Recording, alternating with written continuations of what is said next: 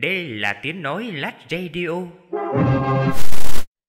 Xin chào tất cả mọi người lại tiếp tục đến với kênh của Lát Radio nha. Bây giờ thì chúng ta sẽ nghe tiếp đến tập 83 của bộ truyện Thôn Vệ Tinh Không. Thì tập này được mang tên là Phần thân thứ hai. Lát xin nói sơ qua nội dung tập trước.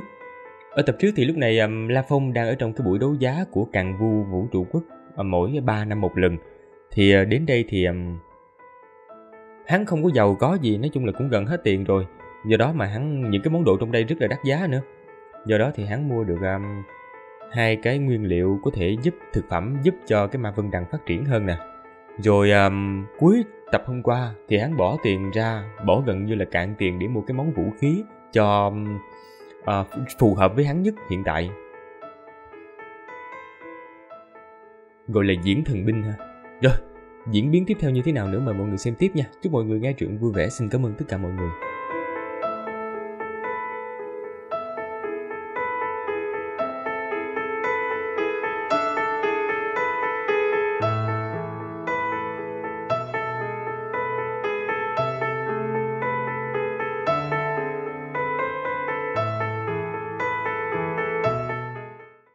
Qua đại khái một giờ, nhóm vật phẩm đấu giá đã bán hết toàn bộ. La Phong cũng nộp tiền, ước định địa điểm thực để giao diễn thần binh. Bây giờ là nhóm vật phẩm đấu giá thứ năm. Trên lệnh bài đấu giá của các vị có thể thấy một ngàn món vật phẩm sắp đấu giá. Sắp đấu giá xin chuẩn bị. Thanh âm của lão già may rùa vang vọng cả đấu giá sảnh mênh mông. Trên những dãy ghế khổng lồ của đấu giá sảnh, các giới chủ đều cúi đầu xem lệnh bài đấu giá. La Phong cũng cúi đầu mà xem. Mẹ nó, trái sinh mạng hả? La Phong dở khóc dở cười. Trong nhóm một ngàn món đấu giá này có trái sinh mạng. Trái sinh mạng giá chót là năm ngàn ức vũ trụ tệ, có 12 quả. Số dư của ta chỉ còn lại có 3.748 ức thôi. Đến cả giá chót cũng không đủ mua nữa. La Phong gãi đầu, chớp mắt, hơi bất lực.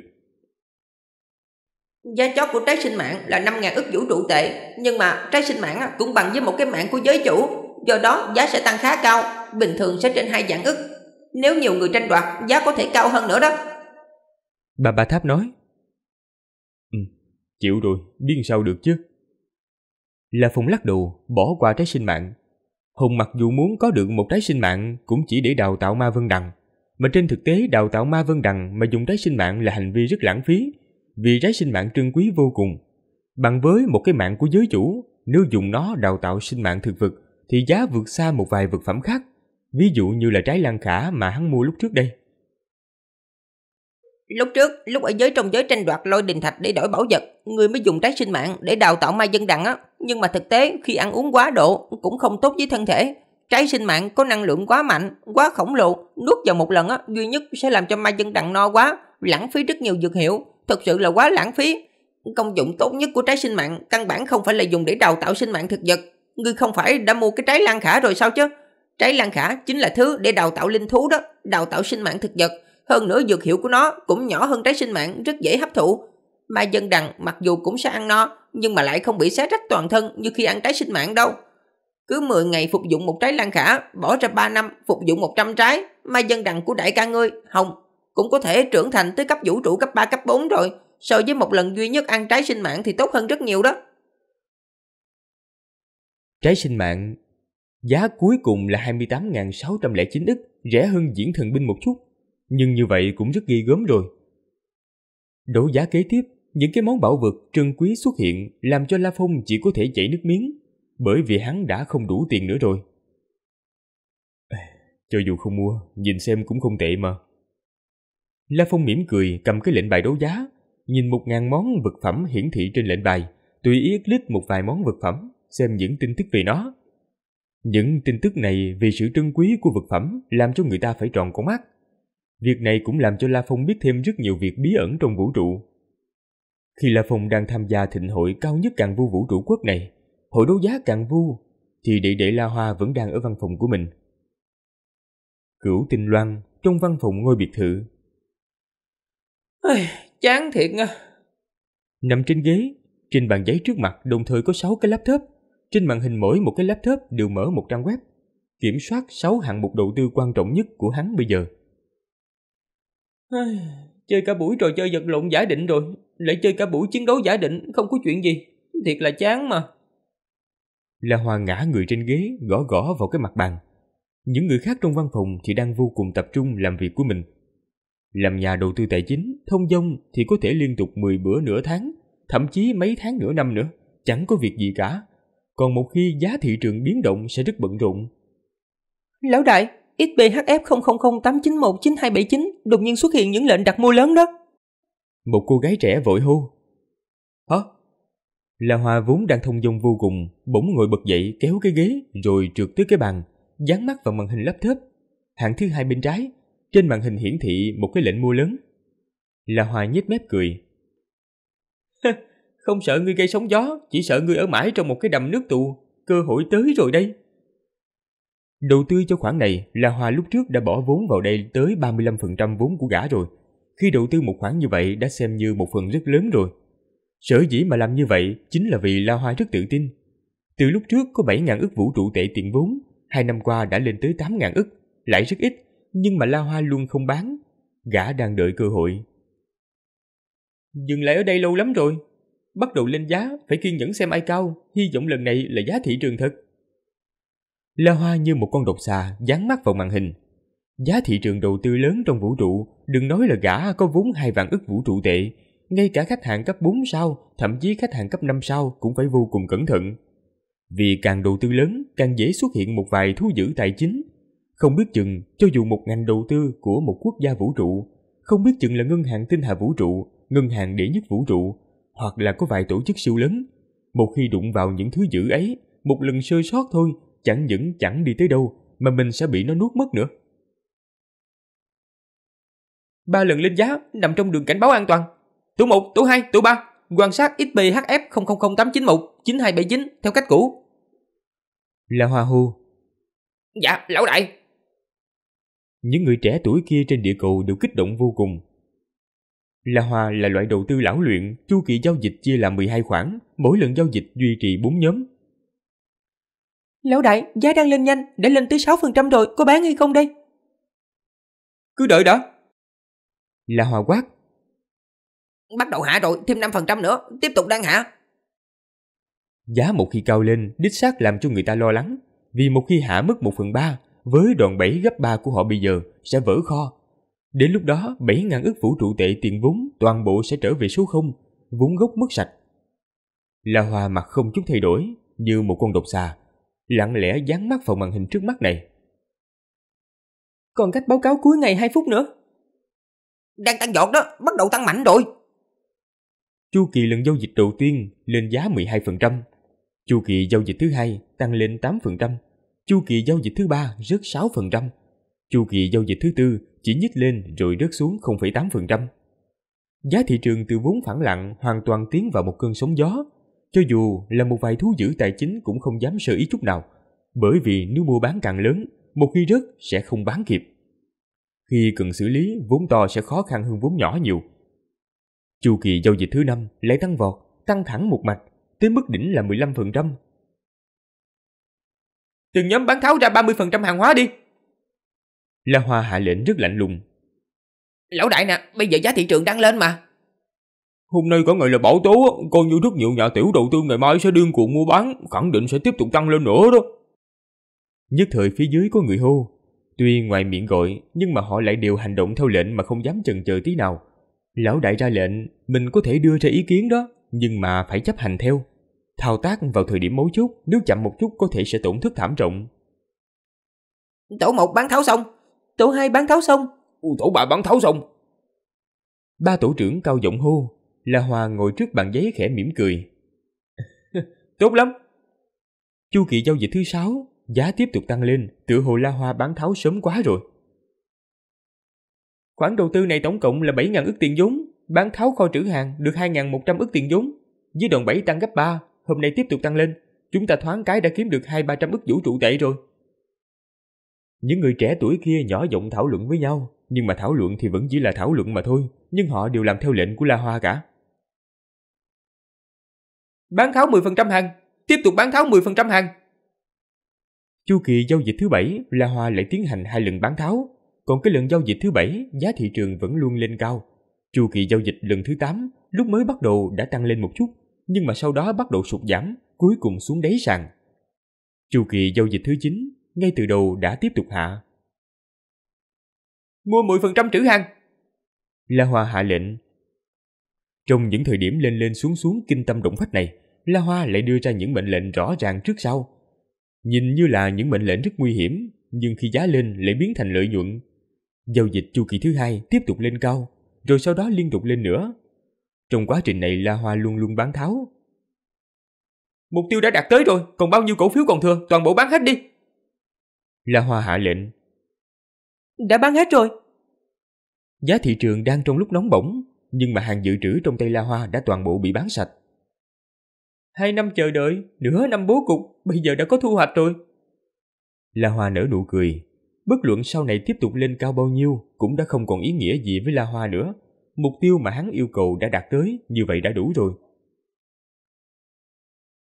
Giao dịch cuối cùng đã xong rồi, tiền mặt là 46.810 ức, tiền vốn là 7.000 ức, xem như tiền vốn tăng lên 6 lần. La Hoa vô cùng hài lòng, vận dụng cái đòn bẩy hợp lý, đích xác có thể kiếm được lợi tức vượt bậc. Nhưng đòn bẩy cũng dễ dàng dẫn đến vỡ kho, nó thuộc vào cái loại con dao hai lưỡi. Cùng cái loại đầu tư này, trong ba chu kỳ giao dịch kế tiếp vẫn luôn luôn lên giá, thỉnh thoảng hơi hạ một chút, nhưng mà chỉnh thể vẫn bảo trì một loại tốc độ tăng chóng mặt. Điều này làm cho vô số nhà đầu tư trong vũ trụ vô cùng kích động. Sau đó một lần hạ xuống, hàng mục đầu tư này lại liên tục ba lần hạ giá. Sau đó những nhà đầu tư sợ hãi toàn bộ ném sạch, căn bản là không ai muốn giữ hàng nữa.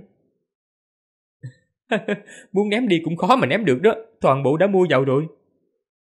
La Hoa thấy như vậy lắc đầu cảm thán. Không biết bao nhiêu người bị dở kho đến mức phải tự sát ha. Lão đại nhà của chúng ta thực sự lợi hại đó. Vẫn là nhờ lão đại tỉnh táo đúng không? Trong văn phòng, đám nhân viên thấy bốn phiên liên tục đều hạ giá, mỗi lần hạ xuống 15%, cuối cùng chỉ còn bằng với nửa giá lúc cao nhất. Hơn nữa ngắn ngủn cũng chỉ có bốn chu kỳ, cũng có hai ngày thôi, lần hạ giá điên cuồng như vậy, quả thực là quá gây rợn. Có người lãi, cũng có người lỗ. La Hoa lắc đầu. Khi mua chính là cao thủ, nhưng mà khi bán được mới là người chiến thắng. Đạt tới mục tiêu của mình là được rồi, đừng quá tham lam làm gì. Lần này vốn ta chuẩn bị giữ một khoảng 30% không kịp bán tháo, không ngờ còn nhanh hơn ta nghĩ nữa. La Hoa hạ lệnh. Ừ, bây giờ giá có thể trữ được rồi. Khi giá dao động ở mức như thế này, cứ mua vào một ngàn ức, không dùng đòn bẩy. Theo quán tính này, giá này còn có thể hạ nữa đó. Rõ. Đám thủ hạ lập tức bắt đầu trữ hàng, biết rõ hạ giá mà vẫn mua trữ hàng, biết rõ giá đang lên mà vẫn ném sạch, nhìn như ngu xuẩn, nhưng mỗi lần giao dịch xong mới có thể phát hiện ra chỗ cao minh của mệnh lệnh. Tỉnh táo La Hoa hiểu rõ mình có thể thành công chủ yếu nguyên nhân nhờ vào sự tỉnh táo tuyệt đối. Đây là thứ tinh thần tuyệt đối tỉnh táo, hình thành từ khi còn nhỏ. Vào thời niên thiếu trường kỳ tàn phế, một mình một người, tỉnh táo và nắm bắt thời cơ, hơn nữa thêm một chút thiên phú, cộng thêm những văn hóa đầu tư trên địa cầu, bồi dưỡng ra một La Hoa như hiện tại. Ca nè, để có 42.000 ức tiền mặt đó. Trong chu kỳ giao dịch thứ 13, La Hoa chuyển khoản tiền này thẳng cho La Phong.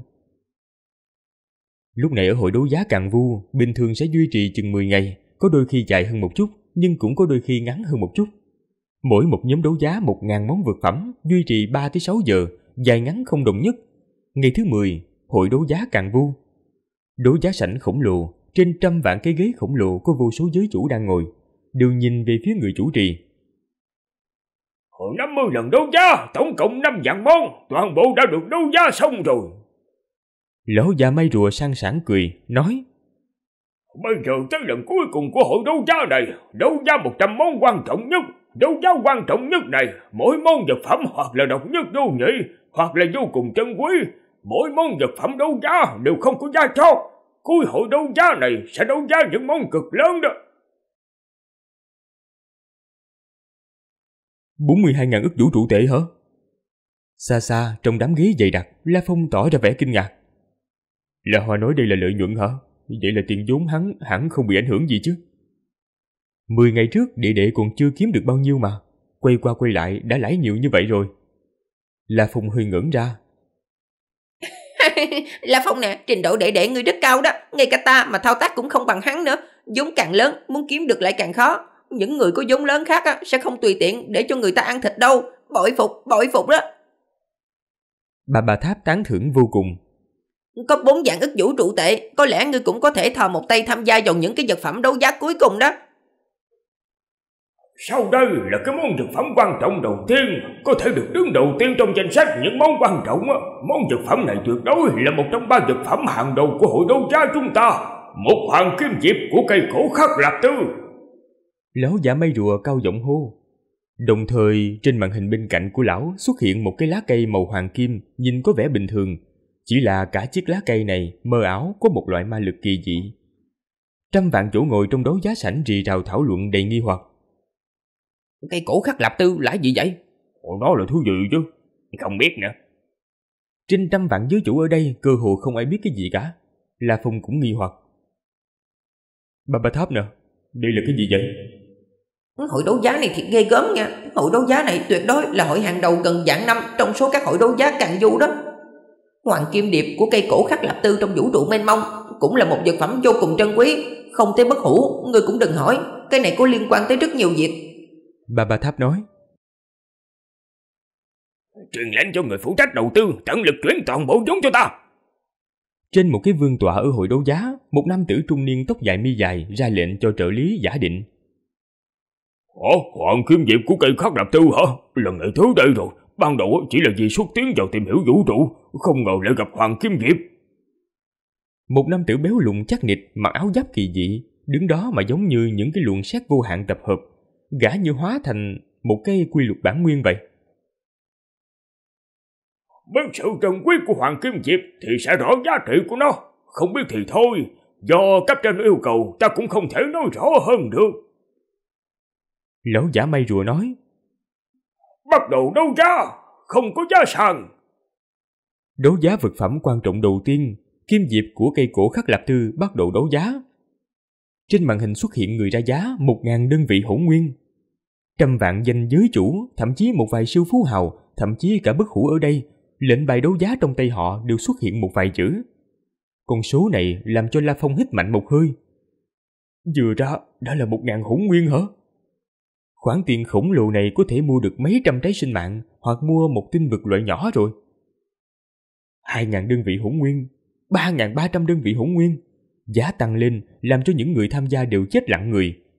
Đối với bất hủ tồn tại, đây cũng là một con số lớn rồi. Thần chủ, cả ngân khố quốc gia của đế quốc đã không còn tiền nữa rồi. Khủng kiếp! Một nam tử đầu trọc cao lớn tuấn Mỹ, trong mắt bắn ra vẻ lạnh giá hắc ám tuyệt đối. Cả người giống như hóa thân vào đêm tối, thầm chửi nhỏ một tiếng. Lúc này báo giá đã đạt tới 5.000 đơn vị hỗn nguyên. Quá khó tin mà. Là Phùng khiếp sợ. Mức khách hàng cấp 4 sao là một dạng đơn vị hỗn nguyên, xem như là một bất hủ kha khá rồi. Bà Ba Tháp nói. Bây giờ tham gia cạnh tranh hẳn đều là bất hủ đó. La Phùng gật đầu. Tạp bố giới chủ, tiền bạc có thể sánh ngang với một bất hủ tương đối nghèo, cũng chỉ có khoảng hai ba trăm đơn vị hỗn nguyên. Còn bây giờ báo giá đã đạt tới 5.000 đơn vị hỗn nguyên. Các giới chủ cũng chỉ có thể nhìn mà há hốc mồm.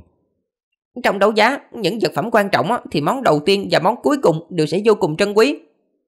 Bà bà tháp giới thiệu. 8.900 hỗn nguyên, còn ai trả cao hơn hay không? Lão giả mây rùa mỉm cười, cao giọng hô. Giá này đã là cái giá mà tổ chức họ chịu được. Nếu là không ai báo giá cao hơn nữa, tổ chức này sẽ mua được. Bỗng 8.950 hỗn nguyên. 8.960 hỗn nguyên. Hiển nhiên mỗi lần đưa giá cũng tăng lên một chút. Những lần trả sau thì giá tăng lên với biên độ cũng thấp hơn nhiều. Các vị, 8.990 hỗn nguyên, còn có ai trả cái giá cao hơn hay không? Lão giả mây rùa nhìn bốn phía. Tính thời gian đếm ngược, 3, 2, 1. Chúc mừng khách nhân số hiệu BUE 52522. Ngài đã được hoàng kim diệp của cây cổ khắc lập tư vô cùng trân quý này. La Phùng khiếp sợ. 8.990 hỗn nguyên. Cho dù là phi thuyền tộc cơ giới cấp E mà hắn tìm được, cũng chỉ có một hai ngàn đơn vị hỗn nguyên mà thôi. 8.990 đơn vị hỗn nguyên, đủ để mua 5-6 phi thuyền tộc cơ giới. Vậy mà chỉ có thể mua được một cái lá cây này sao? Sau đó, những món vật phẩm quan trọng khác lại liên tục xuất hiện, làm cho La Phong bình tĩnh lại. Nguyên lai tuyệt nhiên không phải món nào cũng đắt bất bình thường. 100 món quan trọng này cũng chỉ có hai ba món là vô cùng quý giá. Có tầm 20 món sẽ xem là tương đối quý giá, nhưng mà đại đa số những món khác chỉ được xem là vô cùng quý hiếm mà thôi. Về phần đắt đỏ thì cũng không phải là quá bất bình thường. 22.000 ức vũ trụ thể, tính thời gian ngược. 3, 2, 1. Chúc mừng khách nhân số hiệu IPR 20445, ngài đã được thiên lạc tinh. Món đấu giá tiếp theo cũng vô cùng quý hiếm, cho dù ở các hội đấu giá quốc gia vũ trụ cũng rất khó tìm được một vật phẩm như vậy. Gia tộc nhân ma sát tộc. Lão giả mây rùa cao giọng hô, nhất thời trên trăm vạn vương tọa cả đấu giá sảnh, đám cường giả giới chủ dày đặc nhất thời sôi trào. Đúng vậy, gia tộc nhân ma sát tộc, các ngài không có nghe lầm đâu. Lão giả mây rùa kích động vô cùng. Trên màn hình cạnh lão xuất hiện một khối da màu đen kỳ dị. Trên da có những hoa văn kỳ bí, kỳ dị màu vàng tối. Nhân loại và yêu thú tộc chúng ta đều thuộc loại sinh mạng huyết nhục, còn ma sát tộc là cái loại năng lượng sinh mạng, chỉ cần tinh hạch không chết, người ma sát tộc sẽ không chết. Cho dù chết đi, người ma sát tộc cũng sẽ năng lượng tiêu tán, ờ, chỉ còn lại có một khối tinh dở dụng hạch, giết chết họ cũng vô cùng khó khăn, nhưng muốn tìm được da của họ thì còn khó hơn nữa kìa. Là một chủng tộc sở trường ám sát, là con cưng của không gian, da của họ ẩn chứa hoa văn kỳ bí của quy luật bản nguyên không gian. Giá trị của bộ da này thì mọi người chắc hẳn cũng đều đã biết cả rồi. Cả trăm vạn giới chủ trong đấu giá sảnh thảo luận rì rầm. Còn La Phong ngồi lẫn ở trong rất nhiều vương tọa cũng hơi kích động. Ma sát tộc, La Phong nè, đây là da của người ma sát tộc đó. Nếu nói kim chắc cự thú có thiên phú bản nguyên kim, thì ma sát tộc này lại có thiên phú gì bản nguyên không gian. Ngươi dùng da nó thai ngén trong thể nội thế giới của ngươi ra phân thân thứ hai. Đây, đây quả thực chính là tuyệt phối đó. Bà bà tháp kích động vô cùng. La Phong giật mình, cả đời kim giác cự thú của mình chỉ có thể có ba phân thân. Phân thân đầu tiên là phân thân nhân loại địa cầu rồi. Còn bây giờ kim giác cự thú đạt tới cấp vũ trụ, đích xác có thể thai ngén ra phân thân thứ hai. Vì tổng cộng chỉ có ba phân thân, nên La Phong tuyệt đối không dám sơ ý. Không tìm được hàng tốt thì thà để trống còn hơn. mà sát tộc hơn La Phong vừa chờ mong xen lẫn nghi hoặc. Vũ trụ mênh mông có rất nhiều chủng tộc, sinh mạng loại huyết nhục xem như mạnh nhất, nhưng mà sinh mạng khác cũng không thể khinh thường. Cũng có chủng tộc sinh mạng vĩnh hằng rất kỳ dị, giống như một dãy sinh mạng kim loại, sinh mạng năng lượng, sinh mạng linh hồn, sinh mạng thực vật vân vân. Kim loại sinh mạng cũng chia làm ngàn dạng loại, sinh mạng thực vật cũng có ức dạng loại nữa. Mỗi loại đều có một vài nhân tố được xem là con cưng của vũ trụ. Trong những sinh mạng năng lượng có ma sát tộc đó, thuộc loại tộc quần đứng đầu. Ma sát tộc được xưng là tộc quần ám sát giả mạnh nhất. Khuyết điểm duy nhất của họ là trưởng thành rất khó khăn và chậm. Nhưng một khi trưởng thành sẽ là ám sát giả đáng sợ nhất. Họ trời sinh sở trường về không gian, sự xuất hiện của họ vô cùng quỷ dị, mà bỏ chạy cũng khó lòng mà phòng bị nữa. Là phong nè, nếu ngươi có phân thân ma sát tộc, lúc đó ngươi dựa vào phân thân ma sát tộc này, nghiên cứu không gian bí pháp, sau này sẽ làm ít mà công to đó. Bà bà Tháp nói ngay, La Phong gật đầu lia lịa. Đúng vậy, kim giác cử thú có ba phân thân, chính là thay ngén ra. Bây giờ da ma sát tộc đích xác thích hợp cho thay ngén phân thân rồi. Thứ trân quý của ma sát tộc này á là chính là bộ da kia đó.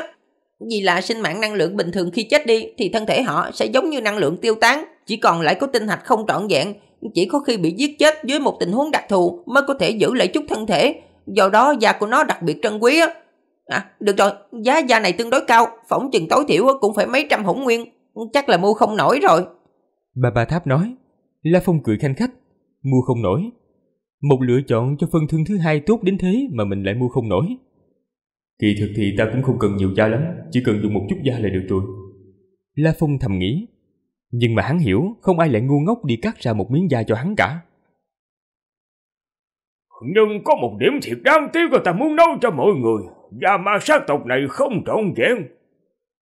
Lão giả mây rùa bên cạnh chỉ vào cái màn hình, bộ da ẩn chứa những hoa văn kỳ bí kỳ dị màu vàng tối. Da này chỉ có non nữa là bộ da tộc nhân ma sát tộc, phần khác thì trong lúc tranh đấu đã bị xé rách rồi, hoặc đã bị hủy mất rồi.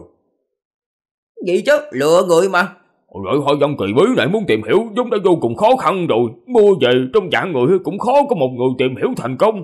Có thể có được một chút đầu mối đó là không thể rồi. Còn cái thứ không trọn vẹn này càng cơ hội không thể tìm hiểu thành công được rồi. Hey, chán chết mà. Đấu giá sảnh vang lên những tiếng thảo luận ầm ĩ. Da đầy đủ và da không trọn vẹn, giá sẽ khác nhau nhiều. Điều này làm cho rất nhiều người ở đây rất thất vọng. nhưng mà trong đó có một thanh niên vô cùng kích động. Không trọn vẹn, không trọn vẹn, càng khiếm khuyết nhiều càng tốt. La Phong sáng mắt lên, bà bà Tháp cũng liền nói. La Phong nè, giá của bộ không trọn vẹn sẽ thấp hơn bộ đầy đủ rất nhiều á. Theo ta phỏng chừng, hai ba đơn vị hỗn nguyên là có thể mua được rồi. Nhưng mà nếu một bất hủ mà động tâm, tùy tiện ra tay, có thể đẩy cái giá cao tới 10 hỗn nguyên, thậm chí cao hơn á. La Phong cười. Trong trên trăm vạn người tham dự hội nghị, cũng có một vài bất hủ. Bất hủ mà động tâm, đích xác sẽ làm giá lên rất cao. Đối với bất hủ thì 10 đơn vị hỗn nguyên đích xác không phải là một số quá lớn gì. Họ hẳn là sẽ không tranh đâu. La Phong thầm nghĩ.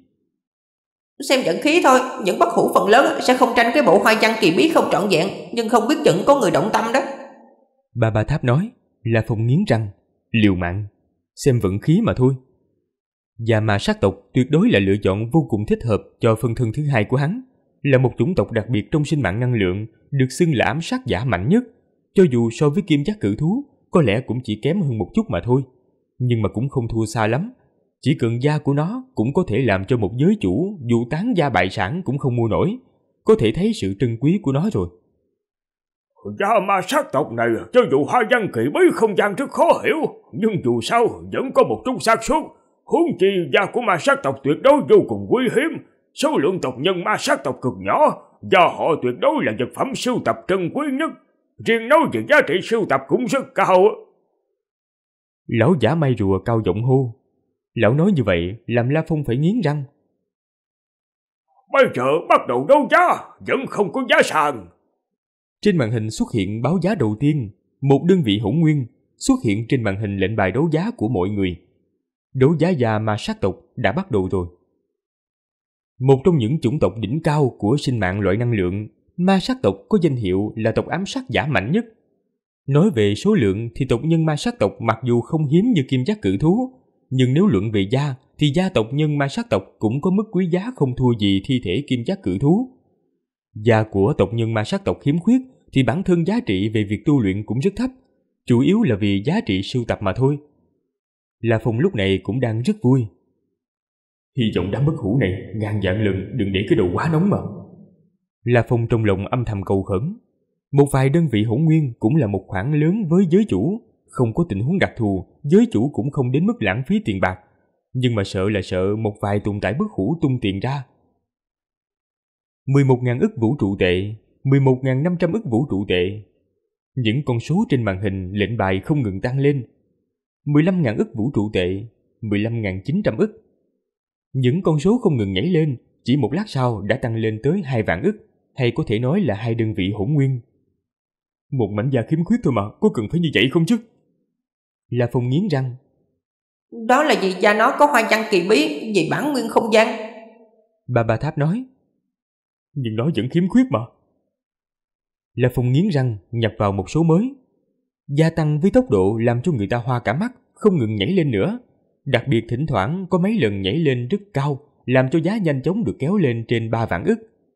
Rồi sau đó biên độ tăng báo giá rõ ràng bắt đầu giảm xuống. Dù sao cũng chỉ là một bộ gia tộc nhân ma sắc tộc khiếm khuyết mà thôi.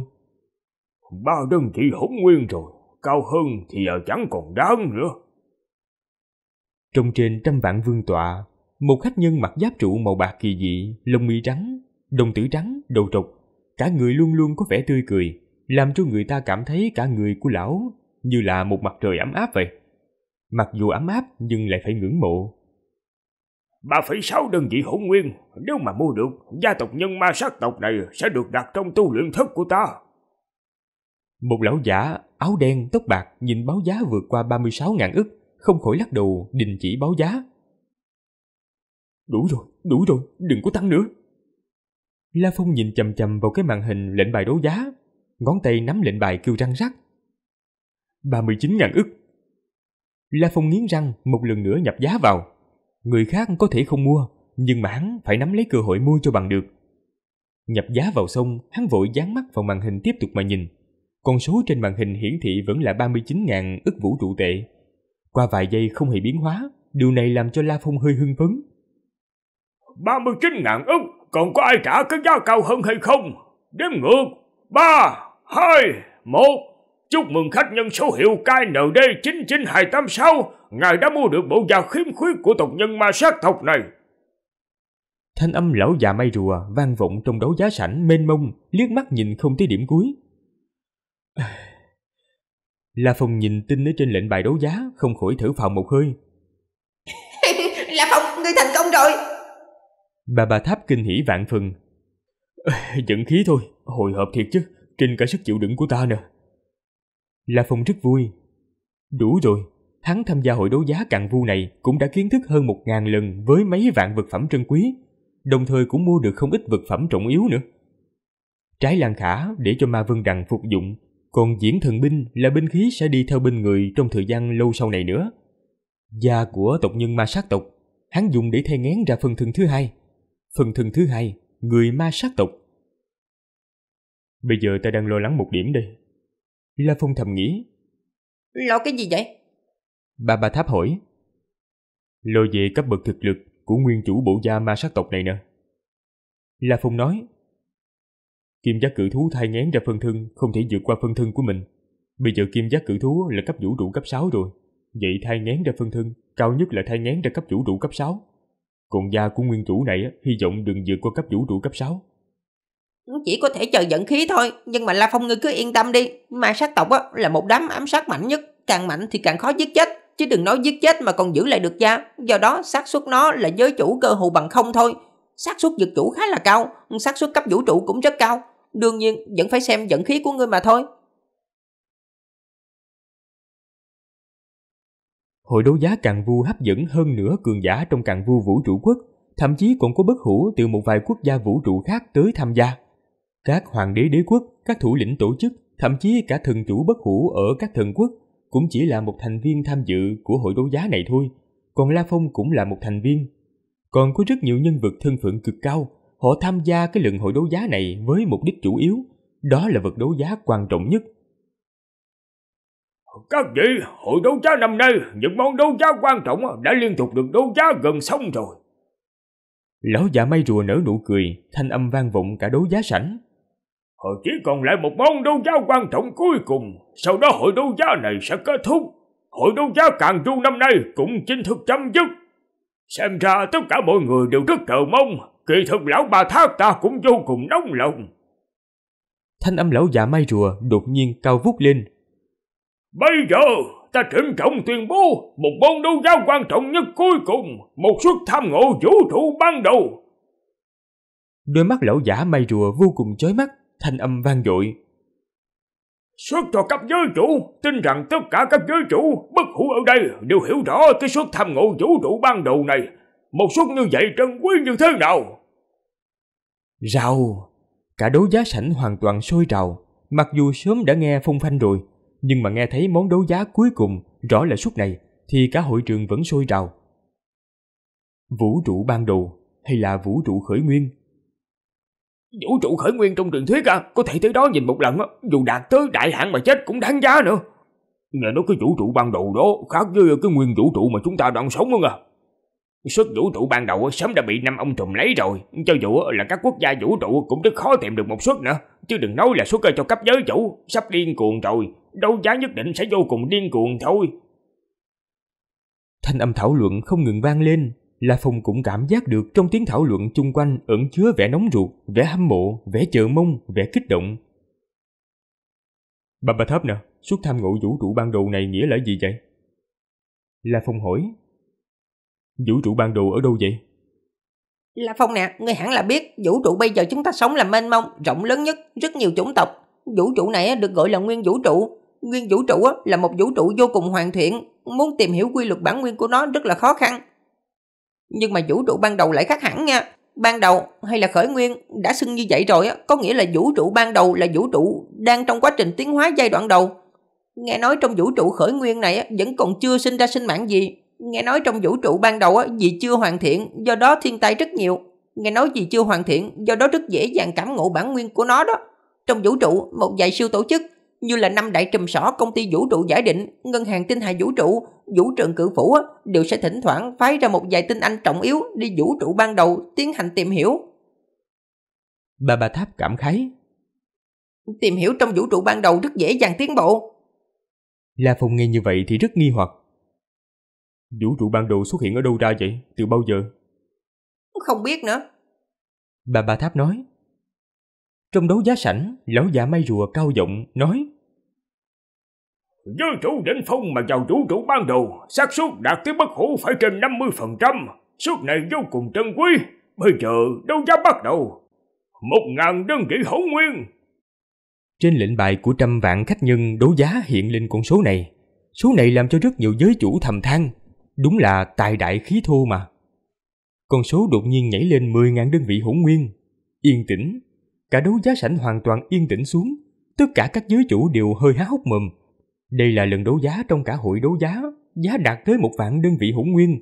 Đây là mức thấp nhất của tài khoản cấp 4 sao. Trong các cường giả bất hủ, nếu có một vạn đơn vị hỗn nguyên đã được xem như là không tệ rồi. Bỏ ra một vạn đơn vị hỗn nguyên chỉ để lấy một suất tìm hiểu của cấp giới chủ, đích xác rất ghê gớm. Trời, đây mới là một suất của cấp giới chủ thôi, nếu là suất của cấp bất hủ chắc đắt hơn nhiều rồi. La Phong tròn mắt. Suất cho bất hủ căn bản không có trong hội đấu giá sơ cấp đâu, bình thường sẽ có ở hội đấu giá trung cấp á, rất khó gặp. Hay có thể ở hội đấu giá cao cấp nữa, cho dù sư phụ ngươi có tán ra bại sản, nhưng mà đôi khi cũng không mua nổi nữa kìa. Bà bà tháp cảm khái vô cùng. La Phong sửng sốt.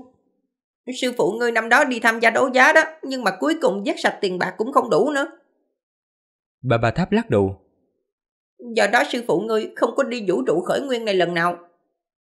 Sư phụ cũng không đi hả? Mặc dù không đi, nhưng đó cũng chỉ là một nơi đặc thù mà thôi. Vũ trụ ban đầu là trạng thái ban đầu của vũ trụ tiến hóa. Xét về kích cỡ, nó nhỏ hơn nhiều nguyên vũ trụ này. Nguyên vũ trụ ẩn chứa vô số chủng tộc, vô số sinh mạng. Nhân loại chỉ là một loại trong số vô số sinh mạng ở nguyên vũ trụ mà thôi.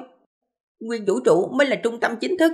Những nơi bí ẩn khác như thần quốc, thế giới, vũ trụ ban đầu, còn có một vài nơi đặc thù có lẽ đều dựa vào nguyên vũ trụ đó. Có thể nói rất nhiều thứ chỉ là một bộ phận của nguyên vũ trụ mà thôi. Một bộ phận hả? La Phong nghi hoặc. Bây giờ nói với ngươi thì ngươi cũng không có hiểu đâu. Hừm. Nhưng mà kỳ thực ta cũng không biết nhiều lắm. Sư phụ của ngươi mặc dù xem như một cường giả trong bất hủ, nhưng mà trong vũ trụ mênh mông, cường giả như mây, có hàng đống người mạnh hơn cả sư phụ của ngươi nữa. Hơn nữa vũ trụ quá mênh mông, cho dù bất hủ, mất ức dạng năm cũng rất khó mà thăm dò khắp cả vũ trụ. Do đó sư phụ ngươi cũng chỉ biết một chút về vũ trụ mà thôi, nên những gì mà ta biết cũng sẽ không nhiều lắm đâu. Nguyên vũ trụ là một thứ cổ xưa nhất, cường đại nhất, thần bí nhất, muốn biết nhiều hơn, ngươi tự mình tìm hiểu thôi. La Phong cười. Hắn bây giờ chỉ là quanh quẩn ở Hắc Long Sơn tinh vực, chưa từng vào càng vu vũ trụ quốc, chứ không dám nói thăm dò cả vũ trụ. Dù sao tộc nhân loại cũng chỉ là một loại sinh mạng trong vũ trụ mênh mông mà thôi. 36.550 đơn vị hỗn nguyên. Không, bây giờ đã là 37.000 đơn vị hỗn nguyên rồi. Thanh âm lão già may rùa vang vọng cả đấu giá sảnh khổng lồ. Có ai trả giá cao hơn không? Bây giờ ta tính ngược thời gian. 10, 9, à, giá mới tin 37.500 đơn vị hỗn nguyên. Giá mới nha, thời khắc cuối cùng nếu bỏ qua sẽ rất khó gặp lại. 3, 2, 1. Chúc mừng khách nhân số hiệu TUF 49903. Ngài đã mua được cái suất tiến vào thăm ngộ vũ trụ ban đầu cho cấp giới chủ. Chúc vui trước ngài sinh ra một vị bất hủ mới. Thanh âm cao vút của vị lão giả may rùa vang lên. Hội đấu giá năm nay, tất cả các thực phẩm đấu giá toàn bộ đã đấu giá xong rồi. Cảm tạ mọi người ủng hộ. Ta, lão bà thác, trịnh trọng tuyên bố, hội đấu giá năm nay chính thức chấm dứt. Trong càng vu vũ trụ quốc, tại một tinh cầu nhỏ xíu màu đỏ nhạt tên là Phất Lạc Tinh Cầu, trong quốc gia vũ trụ, tinh cầu này rất có danh tiếng. Vì nơi này là trụ sở gia tộc của một bất hủ, còn bất hủ này cũng có địa vị nhất định ở công ty vũ trụ giả định. Trên tinh cầu, một quân đoàn chiến sĩ vũ trụ phụ thuộc công ty vũ trụ giả định đang đóng quân tại đây. Trong quân đoàn này, binh lính bình thường tối thiểu cũng là cường giả cấp vũ trụ. Nhanh lên, nhanh lên chút, hội đấu giá càng du sắp kết thúc rồi. Trước khi đấu giá lần cuối cùng, các quân đệ mau mau tiến vào mạng, chuẩn bị tiếp đãi những đại nhân vật đó nha. Hey, hội đấu giá rốt cuộc cũng kết thúc rồi, các quân đệ ai cũng đều sốt ruột chờ đợi á. Trong một quân doanh chiếm diện tích rất lớn, nhất thời ồn ào bàn tán. Nghĩ ca nè, nghe nói hội đấu giá càng du tụ tập cơ hội tất cả đại nhân vật ở quốc gia vũ trụ chúng ta. Nghe nói có trên trăm vạn giới chủ, còn có không ít bất hủ nữa, và một vài nhân vật trẻ tuổi có bối cảnh lớn. Người tới đó xem giùm nha, lát nữa trở về nói cho chúng ta biết. Lần này chúng ta đi chiến trường ngoài kia một chuyến, không chừng cũng gặp được dạy bất hủ á. Yên tâm đi, trên trăm dặn giới chủ hả? Chà, lát nữa trở về từ từ nói với các người sao? Kỳ hạn nghĩa vụ quân sự này chấm dứt trước khi rời lãnh địa tinh cầu, không ngờ huynh đệ ta lại có cơ hội gặp được một đại tràng diện như vậy nữa. Nghe nói cái hội đấu giá càng đua, mức thấp nhất có thể tham gia là tài sản cấp 3 sao đó nha. Có thể cả đời chúng ta cũng chưa có cơ hội tham gia đâu. Lần này an bài quân đoàn chúng ta chọn ra 100 người đi, đó là gặp may mà. Tài khoản cấp 3 sao có yêu cầu như thế nào vậy? Nghe nói tiền gửi ngân hàng phải đạt tới 10 giảng ức vũ trụ tệ. Trời ơi, 10 giảng ức vũ trụ tệ hả? Lãnh địa của ta cũng chỉ có mấy trăm tinh cầu có sinh mạng, chưa bằng con số lẻ nữa đó. Đám lính cấp vũ trụ thảo luận ồn ào, trong đó có 100 lính xuất sắc, từng người đều tiến vào mạng vũ trụ giả định. Vũ trụ giả định, càng vu đại lục, một tòa hòn đảo lơ lửng trên không. Kiến trúc chủ thể của hòn đảo trên không đó chính là tòa đấu giá sảnh cực lớn. Lúc này trong đảo liên tiếp xuất hiện những bóng người. Dưới sự an bài, có tới mấy ngàn người nhanh chóng phân bố tới một vài địa điểm trọng yếu trên đảo. Những nhân viên phục vụ này thấp nhất cũng phải là cấp vũ trụ. Tạp đặt nè, nghe nói khách nhân tại đây cơ hội đều là giới chủ hả? Trên trăm vạn giới chủ hả? Cả đời ta cũng chưa thấy qua nhiều giới chủ tới vậy nha. Hai nam sĩ mặc lễ phục đứng cạnh một cây cầu nhỏ thấp giọng thảo luận với nhau. Ai cũng đều tự cố nén vẻ hưng phấn. Cường giả cấp vũ trụ sao? Mặc dù có thể xưng vương xưng bá trong một tinh hệ, nhưng mà nếu đặt ở trong cả tinh vực thì địa vị thấp hơn nhiều. Còn nếu là đặt trong một quốc gia vũ trụ mênh mông, thì chẳng là bao cả. Chỉ cần càng vu vũ trụ quốc cũng có trên ức tinh hệ, bên trong quốc gia vũ trụ có trên trăm vạn giới chủ, có thể thấy được có bao nhiêu tổ chức rồi. Dưới sự dạy bảo của vô số giới chủ, xác suất sinh ra cấp vũ trụ cao hơn nhiều. Cả quốc gia vũ trụ, số cấp vũ trụ trên ức tinh hệ tối thiểu cũng phải vượt qua 10 ức. Phái ra một quân đội tới chiến trường bên ngoài thì binh lính đều là cấp vũ trụ cả. Các chiến sĩ vũ trụ hiểu rõ, họ ở trong cả quốc gia vũ trụ chỉ có thể xem như cơ sở, còn khách nhân tham gia hội đấu giá càng vu cao nhất cả quốc gia vũ trụ thì mới là những lãnh đạo của quốc gia vũ trụ. Hội đấu giá chính thức chấm dứt, tất cả các khách nhân lần lượt ly khai đấu giá sảnh, tất cả các nhân viên hướng dẫn đều nhớ chức trách, biểu hiện sẽ gắn với điểm công hiến nghe chưa?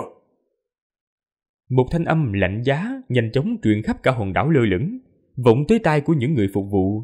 Hai nam sĩ phục vụ lúc trước còn đang thấp giọng trò chuyện, lập tức đứng yên thẳng tắp. Chỉ thấy từ xa xa, tòa đấu giá sảnh rộng lớn đẹp huyền ảo xuất hiện vô số bóng người.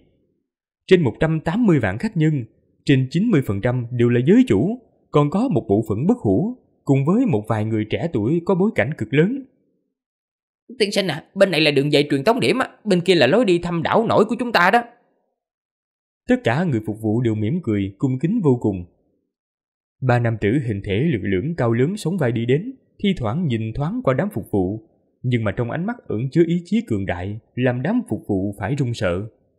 Đây chỉ là vũ trụ giả định thôi, nếu mà trong đời thực với ý chí cường đại của đám giới chủ, chỉ một ánh mắt cũng có thể làm cho đám phục vụ này tan vỡ linh hồn. Nhưng mà giới chủ tại đây thì căn bản không đáng giá, thỉnh thoảng còn gặp phải một vài tồn tại còn đáng sợ hơn cả giới chủ.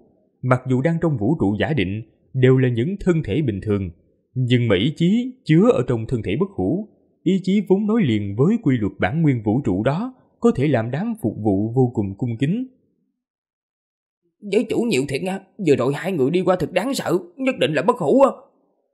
Đám phục vụ thậm chí phải nín thở. Phía trước có một thanh niên trẻ tuổi đang tới kìa, xem ra không giống giới chủ nha, lại càng không giống bất hủ á. Ừ, phỏng chừng là một người trẻ tuổi có bối cảnh lớn á nha. Đám phục vụ không dám sơ ý. Khi thanh niên tóc đen từ xa xa đi tới, thì họ ai nấy đều cung kính mỉm cười, nói À, tiên sinh, bên này đi tới truyền tống điểm, còn bên kia thì có thể đi thăm đảo nổi chúng ta đó. Ờ. Thanh niên tóc đen khẽ gật đầu, cười, nhìn về mấy người phục vụ, rồi đi về phía truyền tống điểm.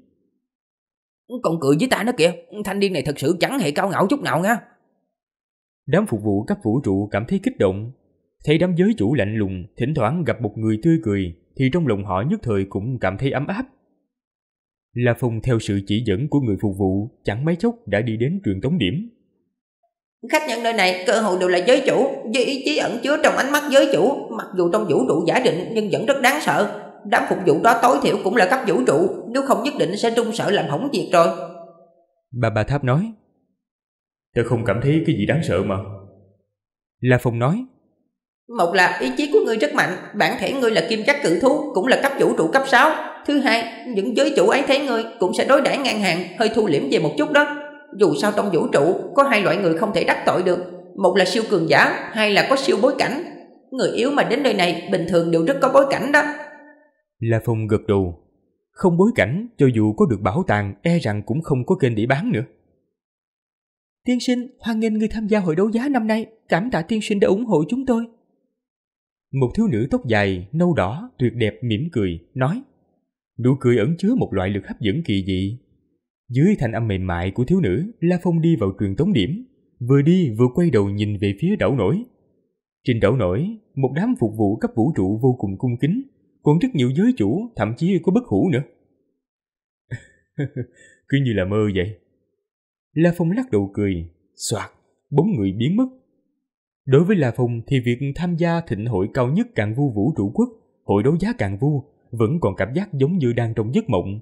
Những bảo vật giá trị như vậy có thể so với cả hệ ngân hà. Còn bây giờ đã tỉnh mộng, La Phong lập tức muốn về quê hương, địa cầu. Một tinh cầu nhỏ xíu ở hệ ngân hà, Hắc Long Sơn tinh vực, Càn Vu vũ trụ quốc. 15 ngày sau khi hội đấu giá Càn Vu chấm dứt, La Phong cùng Thu Phạm đáp một chiếc phi thuyền vũ trụ tiến về Bạch Lan Tinh. Bạch Lan Tinh vẫn tuyết trắng ngập tràn. La Phong đi trước, Thu Phạm theo phía sau dẫm trên tuyết, đi về phía chiếc phi thuyền mỹ lệ xa xa. Đó là một chiếc phi thuyền của công ty vũ trụ giả định. Xác nhận thân phận của khách hàng, có thể giao hàng. Thanh âm điện tử vang lên. Nhân viên chuyên môn của công ty vũ trụ giả định để rất nhiều cái rương to trên mặt đất. La Phong ngoắt tay một cái, thu luôn vào trong không gian giới chỉ. À, khách nhân tôn kính, cảm tạ ngài đã ủng hộ công ty vũ trụ giả định chúng tôi nha, à, xin cảm ơn. La Phong bắt tay một trung niên tóc bạc ngắn, rồi song phương lập tức tách ra. La Phong cùng Thu Phạm nhanh chóng bay về phi thuyền. Đồ vật đã tới đây rồi, chúng ta trở về địa cầu thôi. La Phong hạ lệnh. Phi thuyền phóng lên cao, xé tận khí quyển Bạch Lan Tinh, sau đó tiến hành xuyên toa vũ trụ, tiến vào ám vũ trụ, bay về phía đối ứng tọa độ địa cầu trong ám vũ trụ. Trong phòng điều khiển phi thuyền, những cái rương lớn đang để ở đó. Ê, ta mua những cái món bảo bối với giá mà đủ để mua hơn 10 tinh hệ. La Phong cảm thán một tiếng. Thu Phạm đứng bên cạnh cười khẽ rồi nói. Đầu tư nhiều mới có thể có lãi to chứ. Lần này chủ nhân bỏ ra nhiều tiền bạc như vậy, tin rằng sau này có thể tìm được gấp trăm ngàn lần rồi. La Phong cười tiến lên mở cái rương ra. Cái rương đầu tiên được mở ra, trong rương bày biện những cái hộp trong suốt. Trong mỗi cái hộp đều có những trái cây vô cùng mềm mại. Bên ngoài còn có những giọt sương. Trái lan khả. Trái lan khả mặc dù không bằng trái sinh mạng, nhưng mà một trái lan khả cũng có giá hơn một ngàn tinh cầu của sinh mạng rồi. Trong cái rừng thứ hai, vẫn để rất nhiều những cái hộp trong suốt, vẫn là trái lan khả. Cái rừng thứ ba cũng được mở ra, là phòng sáng mắt lên. Trong cái rương này đựng một cái trường côn kỳ dị màu vàng tối, chính là một trong chín đại thần binh của trưởng khống giả tinh thần niệm sư nhất mạch, diễn thần binh. La Phong ngồi sẫm xuống đưa tay vuốt ve trường cung kỳ dị màu vàng tối này, cảm giác được cơn lạnh giá cực độ truyền ra từ lớp kim loại, không khỏi cảm thấy vô cùng chờ mong. Cái này là diễn thần binh, sau này sẽ làm bạn với hắn ngàn vạn năm. La Phong xoay người mở cái rương cuối cùng ra. Trong cái rương là một bộ da khiếm khuyết màu vàng tối đầy những hoa văn kỳ bí kỳ dị. Phần thường thứ hai La Phong sáng mắt lên trong lòng cuộn sống. Trong vũ trụ này, việc cố gắng nhận thức cố nhiên là rất trọng yếu, nhưng mà thiên phú, tài nguyên cũng vô cùng trọng yếu.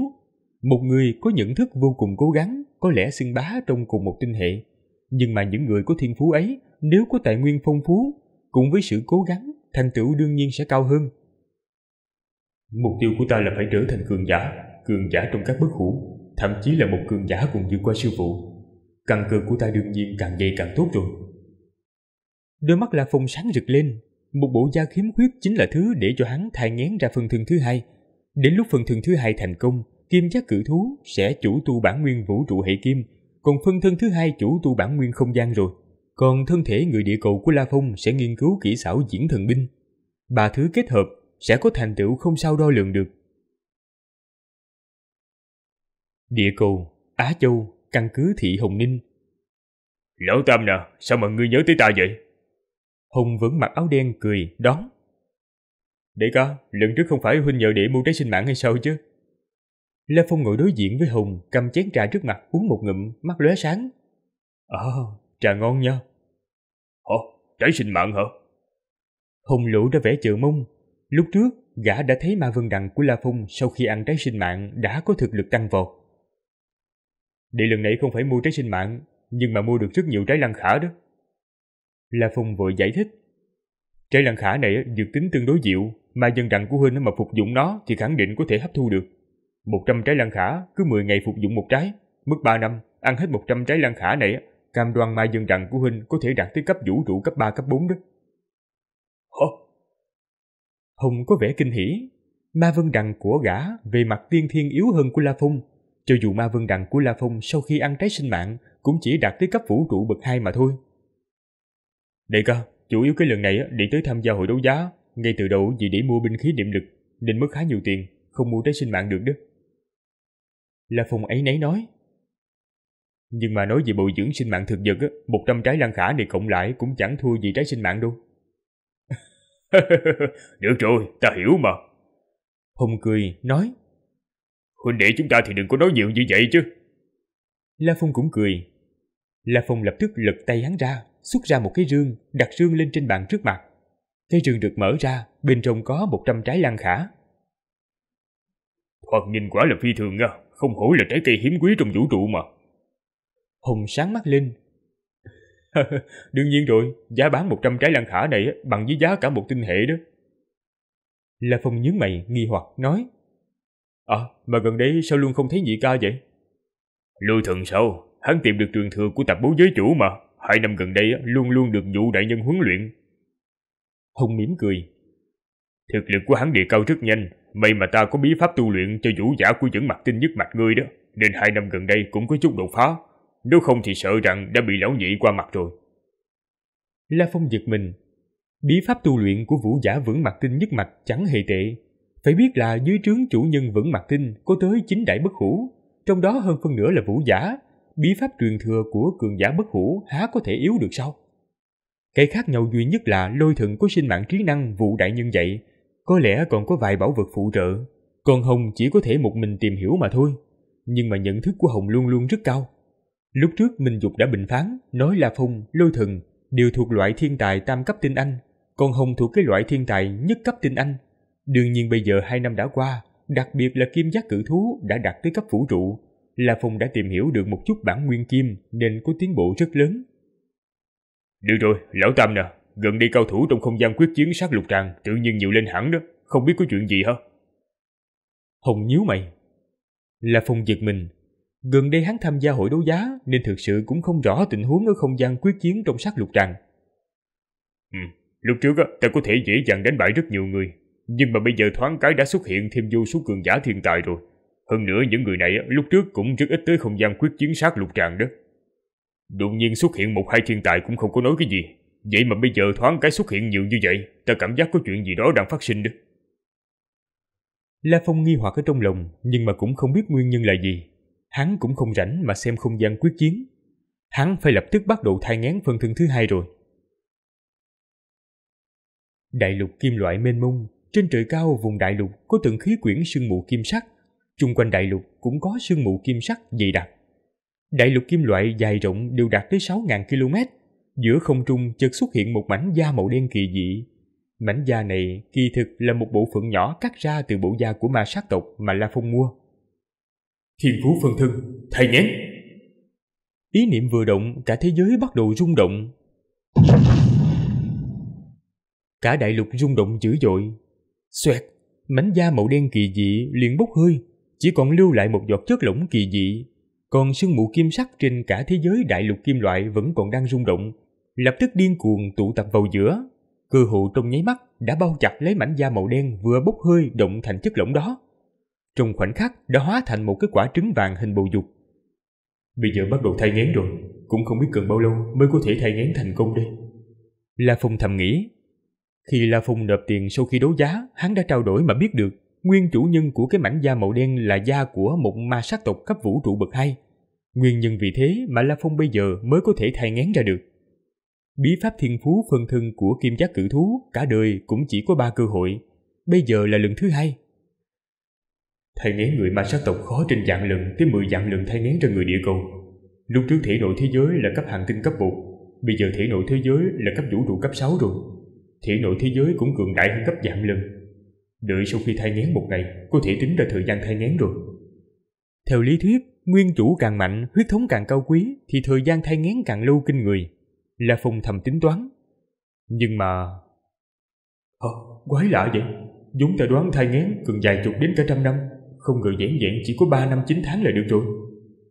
Sau khi La Phong thai ngén một ngày, căn cứ vào tin tức phản hồi từ thể nội thế giới huyền ảo, đã hoàn toàn hiểu rõ về việc thai ngén người ma sát tộc.